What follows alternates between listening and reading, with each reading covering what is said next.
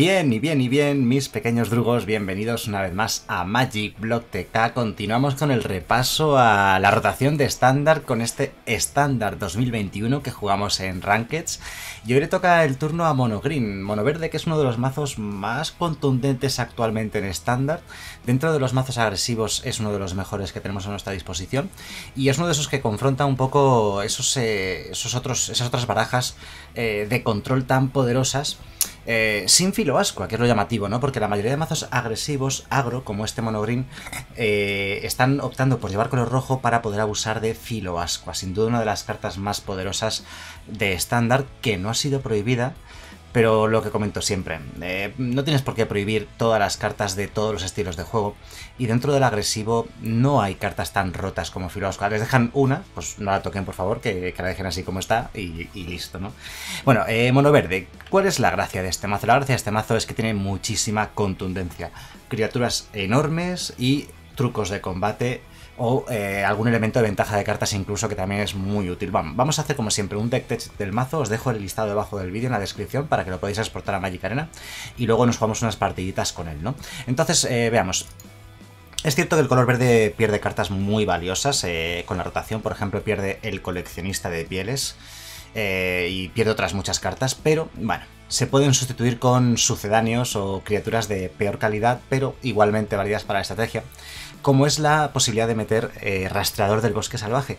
Una carta que no está mal del todo. Yo, yo, de hecho, en mazos monoverdes la he jugado más de una vez y la he visto por ahí en algún listado de algún pro también, aunque goza de poca popularidad. Realmente muy poca gente la juega y muy poquita gente la ha jugado, pero ya digo, no la he visto cero veces y creo que, bueno, pues con la salida del formato de del, coleccionista de pieles se gana un huequecito en este mazo. Por uno es un 1-1, pero que al atacar, si controlas otra criatura que no sea humano, pues gana más 1 más 1 y se convierte en un 2-2 por 1 verde, que no está mal para comenzar. Teniendo en cuenta que el resto de criaturas del mazo, pues no son humanos, ¿no? Es, es el caso de Serpiente Reptarroca. Eh, esta es una de las mejores cartas del mazo, por no decir una de las mejores cartas de estándar. Al principio pasó un poco desapercibida los primeros meses, pero es que cada vez se juega más y más. Por X es un 0-0 pero entra con X contadores más 1 más 1. Es decir, que es una criatura que puedes jugar en el primer turno o en el turno 8 haciendo lo que tiene que hacer. En el turno 1, pues un 1-1, en el turno 8, un 8-8, ¿vale? La ventaja, la ventaja es que este bicho tiene alcance, es decir, puede bloquear criaturas voladoras, tiene arrollar y además tiene protección contra multicolor. Son tres cosas más valiosas de lo que parecen. Sobre todo la protección... Perdón, sobre todo la protección contra multicolor quizás sea lo más interesante que tiene, ¿no? Y además tiene otra cosa extra y no es poco relevante, y es que se incolora y se salta eh, la habilidad de exiliar de Ugin, ¿vale? Cuidado con eso, que lo he visto más de una vez, hacer Ugin, el rival, exiliar todos los permanentes y decir, uy, espérate, ¿por qué se queda esa serpiente reptaroca en mesa? ¡Ay, que se incolora! Me gana. Vale, lo he visto más de una vez, os lo juro. Fuerza primordial. Una de las cosas que nos ha aportado M21 para este mazo es otro removal más para el color verde. Ojo, ¿os acordáis hace unos pocos años cuando el color verde no tenía removals? ¿Os acordáis? Porque ahora tiene docenas de removals. Son todos de eh, tipo luchar. O sea, todos siempre requieren que tú tengas una criatura en juego, ¿vale? Son removals condicionales. Condicionales a que tengas esa criatura en juego, pero como es un mazo que está lleno de criaturas, normalmente la vas a tener siempre. Y normalmente tu criatura es más grande que la del rival. Entonces, eh, fuerza primordial es excelente. Tu criatura lucha con una criatura que no controles ¿vale? Y además gana más X más X hasta el final de turno. Ojo, esta carta se puede jugar por un mana verde. Y tu criatura lucha con la otra sin ganar más X más X, pero lucha. O puedes pagar 6 de mana y le das más 5 más 5 y lucha. Es decir, es muy buena. Es muy buena porque se puede jugar barato o se puede jugar caro y hacer muchísimo más daño, ¿no? Y luego además ese, ese dopador, ¿no? Que, que te puede dar una partida, ¿no? La carta está muy bien. Puedes incluso no luchar. Es decir, lucha, dice el texto, leedlo. Luego lucha contra hasta una criatura, que puedes elegir luchar con cero si el rival no tiene criaturas y darle más X más X a tu criatura. O sea, es decir, fuerza primordial es eh, la mejor opción. Lo digo porque mucha gente me pregunta, oye tal, ¿qué prefieres? ¿Fuerza primordial o arremeter? Es mejor fuerza primordial. Por esos motivos que os he enumerado. Vale, M21 no solamente trajo fuerza primordial, es que también ha traído una de las mejores cartas verdes de la historia, una de las mejores criaturas de la historia, que es el Cino Carroñero. Pero si por dos es un 2-2, ya por dos es un 2-2, pero exilia cartas de los cementerios, y exiliar cartas de los cementerios es muy importante. Eh, pensad que una de las mejores cartas actualmente estándar es Uro, pues esto exilia Uros y exilia cartas del cementerio, y encima crece, es que encima va creciendo. Puedes exiliarte criaturas tuyas, criaturas del rival, y encima sube a 3-3, 4-4, 5-5, 6-6, imparable, y además gana vidas cuando lo hace. O sea que contra Mono Red es un quebradero de, un quebradero de cabeza. Es muy buena esta carta, es de las mejores cartas de la historia, ya os digo. Luego en el coste 2, de todas maneras os digo, el, mazo tiene problemas en el sentido de que no hay buenos drops de coste 1, que tenemos que llevar esta cosa. No hay buenos drops de coste 2, que tenemos que llevar esta otra cosa. No es malo del todo, es mejor de lo que parece.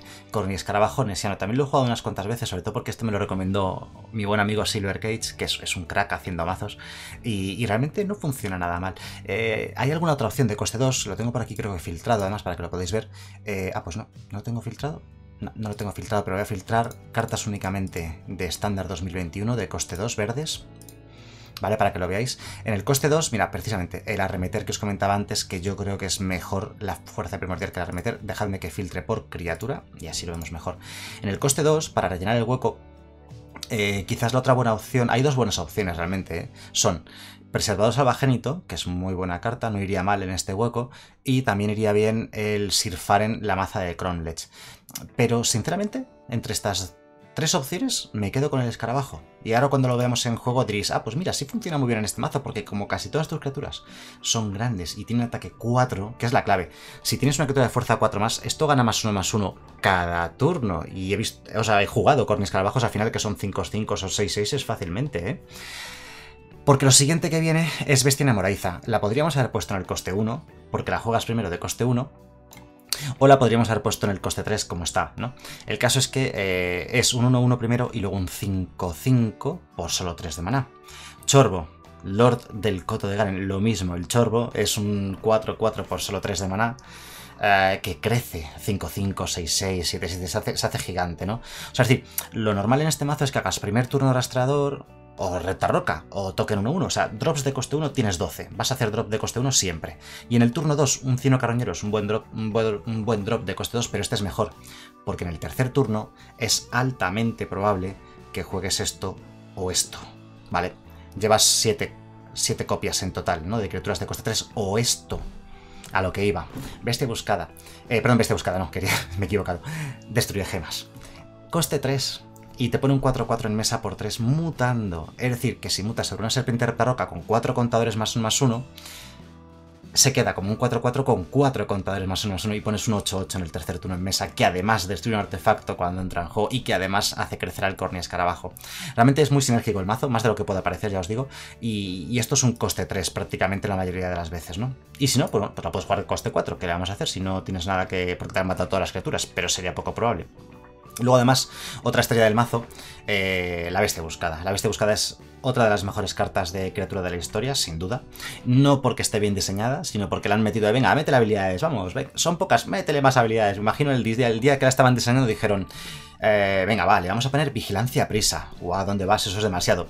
Y otro, no, no, yo creo que le podemos meter otras tres o cuatro habilidades más. Y es lo que hicieron. Y aquí la tenemos. Y luego por último dos Grand Cromlechs, que es una carta en este mazo va muy bien porque tus criaturas pegan todas 4 o 5, es muy fácil que lo juegues por 4 o 5 de mana este Cromlech.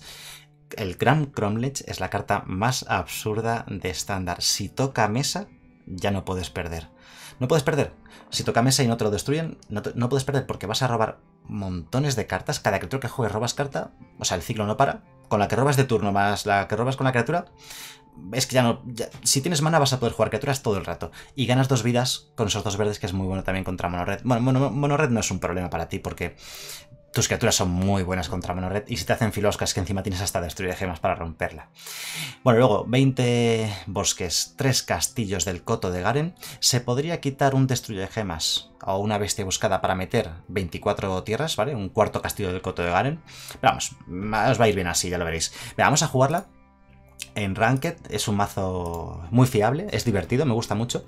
Y ya veis que, bueno, aunque en la rotación la mono verde de estándar actual va a sufrir muchas pérdidas, se puede seguir construyendo algo decente para estándar 2021 y por tanto de cara a, la siguiente temporada cuando salga Zendikar Rising a finales de septiembre y ocurra la rotación, ¿no? En la cual las cuatro colecciones más antiguas dejen de ser legales en el formato. Vamos a ver, sale el rival, pero bueno, tenemos turno 1, turno 2, turno 3, turno 4, turno 5. ¿Os vale? ¿Os gusta? Me gusta. Hay un problema con la bestia enamoradiza, es cierto que es un 5-5, que en este mazo no tienes muchas formas de, que ataque, pero siempre puedes jugar una serpiente Torca 1-1 para facilitar que la bestia enamoradiza ataque. Vamos a verlo. Nosotros nos la vamos a quedar. Y vamos a ver a qué nos enfrentamos, ¿no? Sale el rival, por cierto. No hemos hecho mulligan ninguno de los dos jugadores. Está jugando un poquito lento el rival. Tomándolo, tomándoselo con demasiada calma. Montaña de primer turno. Y cicla, un mazo de ciclo. Ah, ah, saliendo él... Es un pairing muy igualado, al 50% yo diría, ¿vale? Em, seguramente gana el que salga en este pairing. Pero bueno, vamos a ver si tenemos suerte y aún así podemos ganar. Doble montaña es raro que no tenga mana blanco, pero es un mazo, el mazo de ciclo que tenemos delante es un mazo que fuerza mucho las tierras. Ay, me acabo de dar cuenta de que le ganamos con una carta, no sé por qué no... Es decir, el, enfrentamiento está al 50%, salvo que tengas el cieno carroñero, que te facilita mucho la partida. ¿Por qué? Porque vamos a exiliar todas las cartas de su cementerio y por tanto su mejor carta, que es el resplandor del cenit, no va a hacer daño.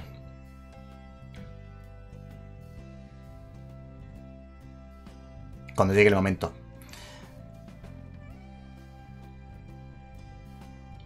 Vale, el zorrito. El zorrito es bastante, bastante problemático. Y es un 2-2 ya para empezar. Él debería atacar con su hechicera de Draniz, por cierto. Efectivamente, lo hace. No vamos a bloquear.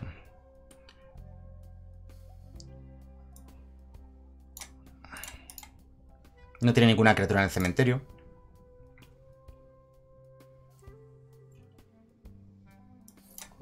Vamos a jugar el 5-5.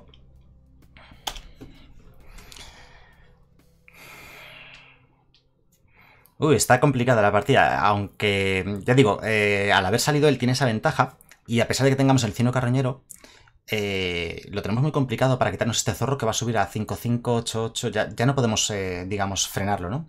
Bueno, solo por la bestia buscada. Pero claro, le vamos a dar mucho tiempo para que llene el cementerio de cartas de ciclo, haga resplandor del cenit muy grande, nos haga un montón de daño, gane un montón de vidas y nos acabe ganando con ello. Y además, ojo, las dos hechiceras de Draniz que nos están haciendo mucho, mucho, mucho daño. La buena noticia es que él no puede atacar de momento este turno, y que con la bestia buscada y, bestia, las dos bestias, la bestia enamoradiza, podemos hacer un ataque muy contundente este turno. Él no tiene bloqueo fácil, le pegamos de 9. O sea, puedo hacer un chumblock. O hace doble block, no me esperaba ese doble block en absoluto. Ah, no, se lo está pensando. no bloquea. Ha bajado a 11, lo cual significa que el siguiente turno probablemente me quede yo enderezado ya para usar el cino carroñero y, exiliarle todo lo que pueda del cementerio, ¿no? Ahora ya este zorro, con cuatro tierras, puede subir a 7-7. Así que ya la bestia enamoradiza ya no puede con él. Ojo a los daños que nos está haciendo con la hechicera de Dranith, que son muchos. La doble hechicera de Dranith. Permitidme que me hidrate un poquito. ¿Cuántas criaturas tiene el cementerio? Tiene una, dos, tres. O sea que esto puede subir a 5-5.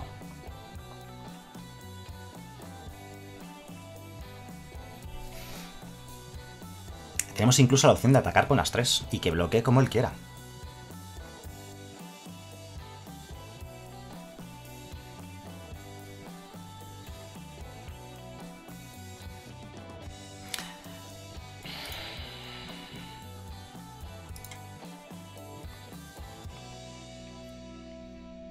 Bueno, a la bestia no puede bloquearla con las hechiceras de Draniz, o sea que podemos pegar 7 inevitables para él,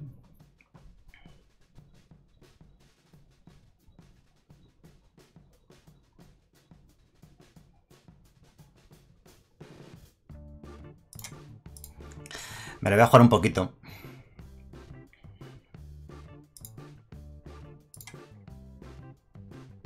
Me lo voy a jugar un poquito. Vamos a atacar con todo. Tiene bloqueo fácil, porque esto lo va a subir a 6-6. Ahí está. Lo sube a 6-6 incluso antes de los bloqueos. Por tanto, nos está dando la información de gratis. Muchas gracias por darnos la información. A bloquear el cino carroñero, lógicamente. No, decide bloquear a la bestia enamoriza. Creo que el bloqueo era este. Se ha equivocado. Lo ha hecho fatal. No sé qué ha hecho el nuestro rival, pero lo ha hecho fatal. A lo mejor tenía miedo de que tuviésemos nosotros algo en... ¿Algún tipo de truco o algo?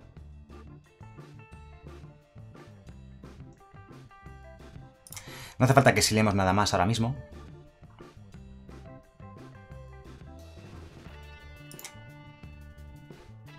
Me vale, me vale.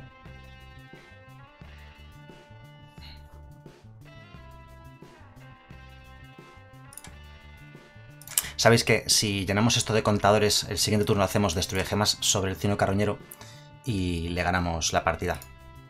Lo voy a ciclar, voy a, voy a usarlo ahora, ¿eh? Para que no me pueda hacer en respuesta el Zenith. Estas poquitas vidas que estamos ganando también son importantes, ¿eh?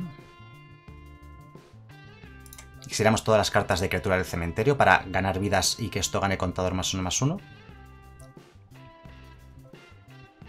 No se me ocurrió, podría haber hecho lo siguiente, podría haber jugado la serpiente como 0-0, dejar que muriese y haberla exiliado también, para que esto fuese 6-6, pues no se me ocurrió. Vale, le quedan 7 de vida. Luego, como digo, destruye gemas sobre el cieno carroñero y ganamos. Vale, tiene 5 cartas de ciclo en el cementerio. Puede que tenga 4 de mana y por tanto resplandor del cenit. Él no puede atacar, Ah, sí que ataca. También podemos hacer así. Él no tiene nada de arrollar, ni nada por el estilo. Así que hacemos el bloque más lógico, la bestia buscada sobrevive. Y resplandor al cieno carroñero, claro. No se me pasó por la cabeza esa, esa posibilidad.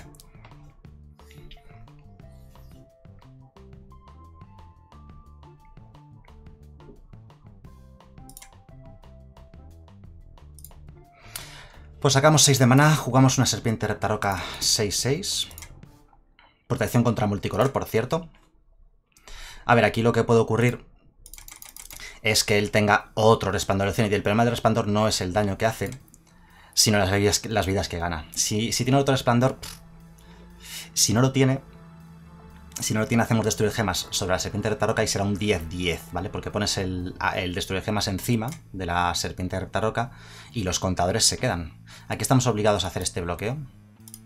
Porque entonces si no nos mata, o sea, si el zorro entra y tiene resplandor del cenit, nos mata. Oh, eso sí que no me lo esperaba. Rasgar el cielo. Un mazo, un mazo de ciclo con rasgar el cielo. Sorpresa total. Ahora le ganamos ya con el cino carroñero, ¿eh? Ahora sí que se nos ha puesto muy, muy a favor. Tenemos 6 de maná, jugamos el cino carroñero, exiliamos todo el cementerio. Empezando por las criaturas.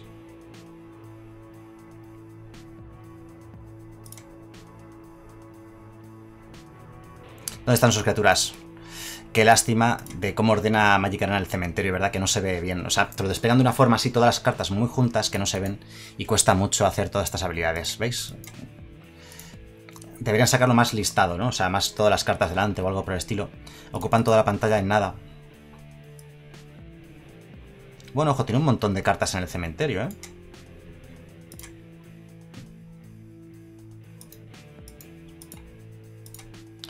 Uh, venga, vamos a exiliar una más. Podríamos ganar otra vida más, pero vamos a exiliar cartas de ciclo. La que sea, no importa. Si nos quedan 5-5, lo digo porque podría haberme exiliado mi propia serpiente recta roca del cementerio y entonces habríamos ganado una vida y le, habríamos puesto un contador más uno más uno adicional. Por cierto, con el destruir de gemas seguimos ganando si lo ponemos sobre el cino carroñero. Él tiene, por cierto, una, dos, tres, cuatro cartas de ciclo en el cementerio, nada más. Es que el cieno le gana. Hemos tenido bastante suerte robando eh, robando este, estos dos cienos. Hemos robado dos. El primero nos lo mató cuando ya era un 6-6. Y el segundo, pues ahí está. Vale, sigue ciclando. Tiene dos... Tiene cinco, cinco, porque aquí lo podemos ver. Lo pone... Ah, pues mira, sí. Nos lo ha matado otra vez. oh, no puede ser. Esto ya es muy raro. Esto ya es mucha suerte. Ganaríamos igual, ¿eh? Porque jugamos bicho, bicho, bicho, por ejemplo, este turno. Ahora ya concederá, supongo él. Ahí está. Ya se ve obligado a conceder porque triple cino carroñero contra el mazo de ciclos demasiado. Yo creo que aún así ya ganábamos porque jugábamos triple bicho este turno. Aunque no tuviésemos cino, jugábamos dos bichos o tres y le ganábamos ese turno con el ataque. Seguramente, ¿no? Lo más probable. No, pues hemos tenido mucha suerte en esta partida que ya digo que está está 50-50, está al 50% yo creo. Quizás incluso me atrevería a decir más hacia su favor que hacia el nuestro. Pero bueno, hemos tenido toda la suerte del mundo, supongo. Y hemos conseguido ganar. Vamos a jugar un par de partidas más a ver si nos da tiempo, no sale el vídeo muy largo. Y a ver si nos salen emparejamientos como esta partida que ha estado bien. Se ha alargado, hemos visto mil cositas, mil facetas. La mano esta es casi perfecta, le falta el drop de coste 2. Si esto o esto fuesen una criatura de coste 2, habría sido perfecto. Pero bueno, supongo que ya hemos robado todos los cino carroñeros que teníamos que robar en, la vida. Ya los hemos robado, ¿no? Así que ya el juego no nos va a dar más. Venga, vamos. ¿Qué ha hecho? ¿Un mulligan? No, no. ¿Qué está haciendo el rival? ¿Por qué tarda tanto? Me gusta mucho el nuevo perrito. Esa animación está muy chula. Es que este bicho va a ser un 1-1 en, el, segundo turno, o sea, no hace nada.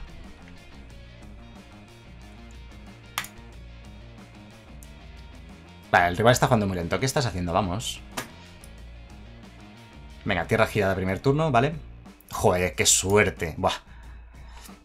Se nos pone muy a favor la mano, la partida.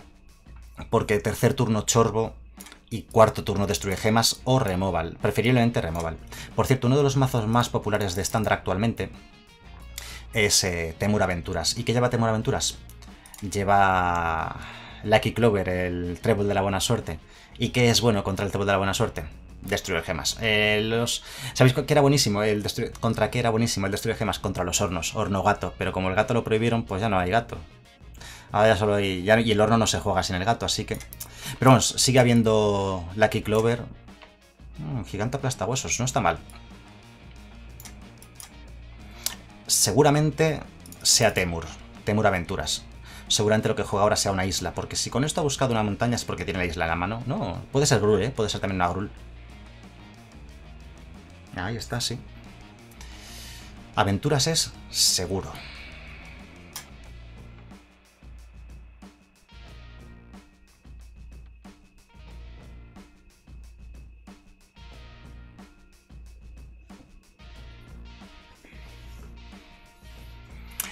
Si hubiese tenido el trébol, lo habría jugado ya.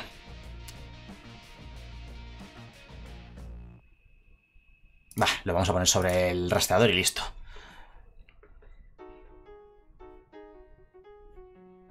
No cuenta, no cuenta para el chorbo, es que es lo malo, pero... pero tenemos un 4-4 y un 4-4 que crece. Vale, el 4-4 entra en juego, ahora el chorbo sí que crece. Así que perfecto. Y la pregunta es... ¿Matamos el posadero? No, no lo matamos. Eh, dejo el posadero vivo. Su mejor jugada seguramente sea jugar un gigante aplastahuesos que le vamos a matar con la fuerza primordial y prácticamente esto es victoria. Y digo prácticamente por no decir que es victoria directamente.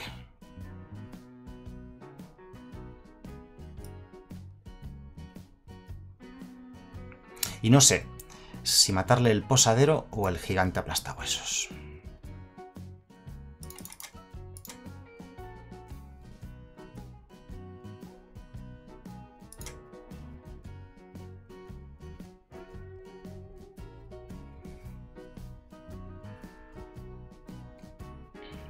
7 y 5. Somos letales, él tiene que bloquear. Le voy a matar el posadero de extremo duro. Porque le obligamos a bloquear con el gigante. Eh, y no le tenemos que hacer objetivo al gigante y no pillamos dos daños. Me ahorro dos daños, básicamente. Una tontería, pero... O sea, es, poca cosa, ¿no? Pero... Se queda a 4 de vida y aunque juegue otro gigante aplastadosos le, le matamos. O sea que la partida... La partida está bastante finiquitada, yo creo. Bueno, azul, ojo. Pueden venir ladronzuelos... O sea, imaginad que hace Trébol de la Buena Suerte Ladronzuelo. Podría ganar bastante tiempo. Tiene 6 cartas en mano, pero tenemos un 5-5 y un 4-4. Vale, Uro gana 3 vidas y pierde. Salvo que haga tierra y ladronzuelo atrevido y nos suba una de las dos criaturas a la mano. Juega un Chumblocker. Vale. No voy a hacer chorbo porque o sea, va, a chumbloquear al, al chorbo nuestro. O sea, sería tontería jugar un, chorbo para que muriese automáticamente solo para darle un contador más uno más uno. Así que aquí baja a 3 de vida. Tiene 4 cartas en el cementerio. Esta sería la quinta. Lo digo porque el Uro sí que es un problemilla. Entra en juego, gana 3 vidas. O sea que aún no está ganado esto, ¿eh? Si por ejemplo juega otro pasaje a leyenda, tendría la quinta carta en el cementerio para poder jugar el Uro desde el cementerio. Vamos a verlo. Nah, no lo tuvo. Así que nada, al final pues otra, otra victoria más. Oye, por cierto, ¿esta victoria no se va a diamante? Anda, mira qué casualidad, queda el vídeo perfecto. Pues victoria que encima nos sube diamante. No estoy rankeando mucho últimamente, la verdad es que es lo único que mientras grabo los vídeos o cuando juego en directo, pero cuando juego en directo eh, mi nivel de juego es bastante malo. Grabando los vídeos tampoco es que sea muy alto, la verdad, pero un poquito más alto que en el directo. En el directo es que me distraigo todavía más porque estoy mirando el chat, estoy leyendo chistes del chat, estoy con las cartas de Streamloots ahí en, twitch.tv barra magicblogtk, ya lo sabéis, ¿no? De domingo a jueves a partir de las 10 de la noche, hora de España, UTC más 2. Y en directo juego fatal y mi, mi, win rate es muy flojo y tampoco juego tantísimas horas eh, rankeds en directo. Y luego el otro ranked que juego es grabando vídeos, que tampoco juego a un alto nivel porque estoy charlando, hablando, contando cositas y me distraigo bastante. Pero mira, ya hemos llegado hasta diamante, así que bienvenido sea. Bueno, pues nada, un mazo bastante bueno, me gusta mucho. Creo que mis, mis toques, porque son míos. O sea, el, bicho verde, el zorrito este, el, elfo con el scout este, no me acuerdo cómo se llama en español. El que es uno verde 1-1 y el escarabajo, que son mis toques, creo que le aportan algo de calidad al mazo, creo que no es mala opción. Y bueno, planteaoslo porque nadie más lo está jugando y yo creo que puede estar bastante bien. Así que nada, eh, como os digo siempre, espero que el vídeo os haya gustado y nos vemos en el siguiente. Gracias y hasta luego.